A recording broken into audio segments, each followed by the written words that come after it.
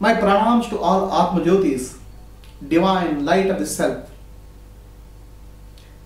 Today we are going to contemplate on another meaning, another dimension of the sutra number 3.2. You see, Tatra Pratyaya Ekanta Ekatanana Dhyanam. So, meditation is the process of focusing attention on a given object.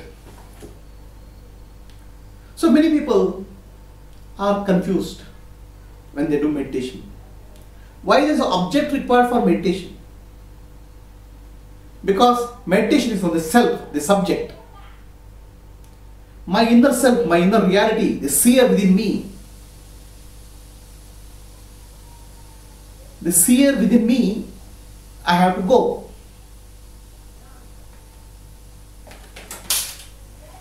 The meditation is for uh, becoming one with the seer. Then why are you focusing on the seal, the object? See, in Atmanushan Yoga, we teach different objects for meditation. How can we move from the object to the subject? This is the science of meditation. When you get penetrate deeper into the object, there's no longer object, there's only universal reality.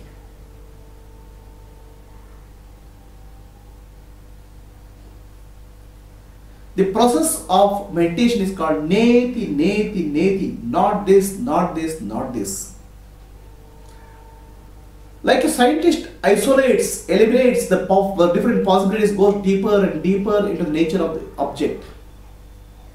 A yogi also goes, drops this the grosser aspect and goes deeper and deeper and subtle and causal aspect of the object.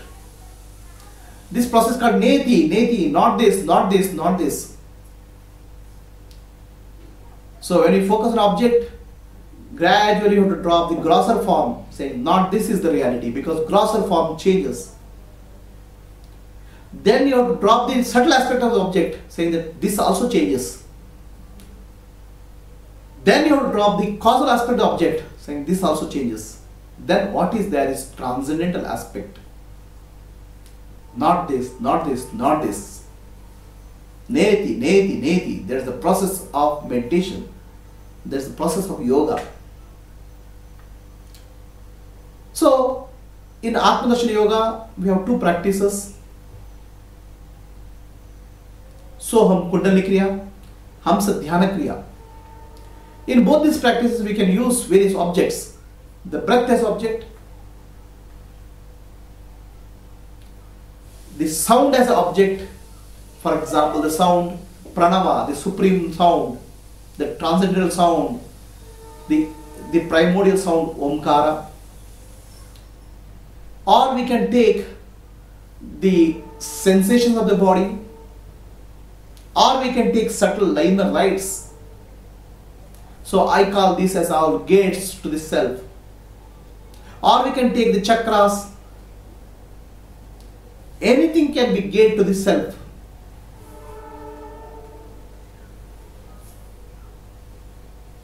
Somebody asked, What is the way to the space? Show me the direction to the space.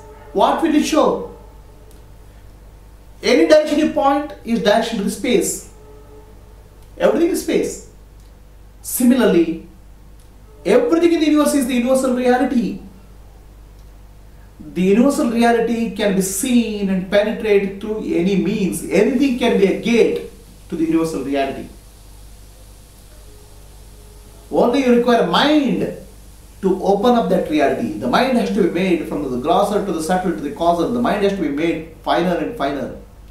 The mind should be become like a laser beam to penetrate into the reality. That's what we teach in Atmanashana Yoga. So what we do when you take sensations of the body as object of focus, this is typically what is done in Vipassana also.